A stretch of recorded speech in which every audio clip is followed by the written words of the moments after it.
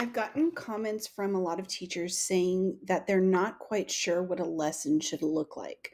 So I have a trick to show you. If you go up here to the waffle up at the top and then scroll down to the very bottom where it says Science Program Hub, click on that.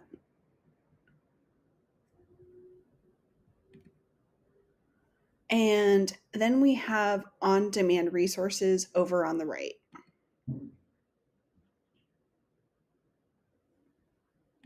I'm going to look at a lesson for fourth grade.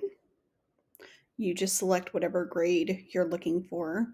And let's do energy conversions because I know a lot of fourth grade teachers are doing that right now.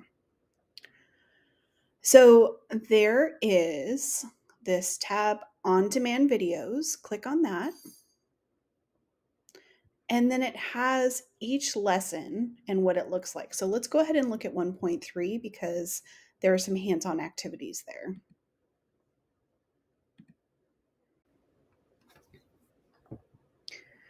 This will take you to a YouTube playlist and it shows you every activity, including like the warm up activities, the reading activities, all of that kind of stuff. So if you're not quite sure what the hands on activity looks like, you can just click right here and it will show you exactly what that looks like.